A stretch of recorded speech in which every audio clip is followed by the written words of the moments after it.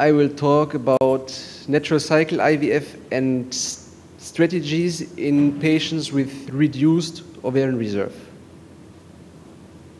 First of all, I will talk about diagnostic. So diagnosing the reduced ovarian reserve is very important.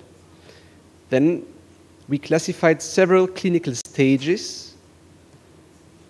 I will tell you how reduced ovarian reserve might influence fertility. I will give you some ideas about treatment approaches, some data from our center and the literature, and then the conclusion. So, to start, how can we diagnose low ovarian reserve?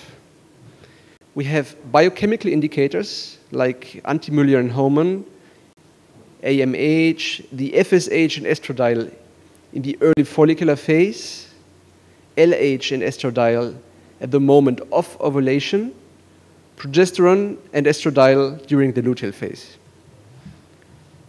We can use the ultrasound and count the antral follicles, or we can observe the follicle growth during the cycle in a more dynamic approach. And we can appreciate the variations in cycle length of our patients. So, what about the biochemical markers?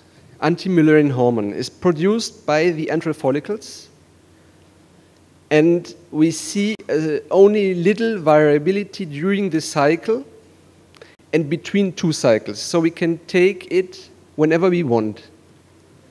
It gives a good global overview about the actual ovarian reserve because it is really stable.